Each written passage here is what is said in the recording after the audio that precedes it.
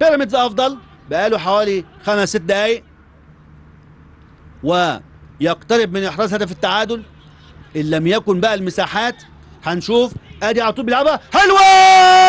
جوه جول جوه الجول! جبناها من ال control. حلوة حلوة حلوة. قنبلة قذيفة على طول عبد الله مجدي. لما واحدة ولسه بقول بيراميدز قريب من إحراز هدف التعادل. إحساس إحساس. والله صادق صادق صادق. على طول بيلعبها عبد الله مجدي. لما واحدة كده وعلى طول والتانية إيه؟